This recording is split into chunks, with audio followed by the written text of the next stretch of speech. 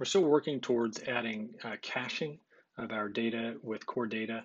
Um, today, let's uh, change our network code so that we get by date, not by uh, just grabbing a random set of pods. First thing we need to do is go into date extensions. I'm to copy and paste long, and I'm going to rename it to uh, that. Um, since we can't do a hyphen, I'm doing an underscore. I'm going to leave the existing uh, formatter, um, though we may in the future want to change that. And I'll update the comment um, to read in a way that makes more sense.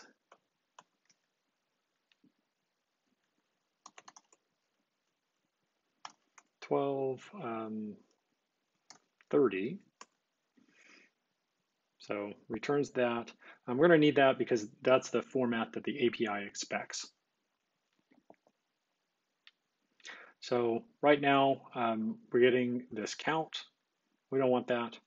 Um, we'll keep this here uh, just for convenience sake if we want to use that later.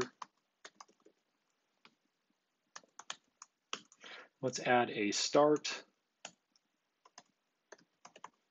and an end string. And uh, we'll need to add an and sign, and then I think, oops, an and sign. And I'm pretty sure that's correct uh, for the parameter name. This one is end date, end date, not send date. And then we'll add an equals, an equals there, and we'll say today's date in that year, month, day format And then we'll just, uh, I think for now, since we'll be making a lot of changes, let's just make it uh, back to December 1st. I think that should be okay. And I'm going to go ahead and break these out as well, just to make it consistent. Even though we're not using this one, like I say, we might want it later. And in place of that, uh, let's add our start and our end date.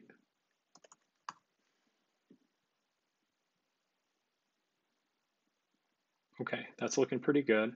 Um, before we uh, get it, uh, let's make a couple of changes to our pod list view. Right now we have this infinite scrolling on. I'm going to turn it off because we're getting the same set each time right now. So we don't need that uh, at the moment. We will add it back later, uh, probably with some more features. And then the next thing I'd like to do, um, let me show you, uh, let's make sure it builds and then we'll see what the problem is before we make the fix.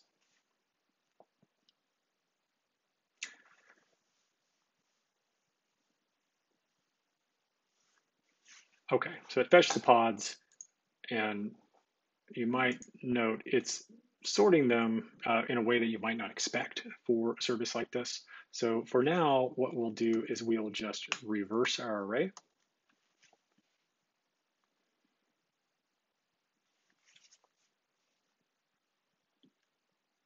And now we see we get the uh, latest pod available from the API.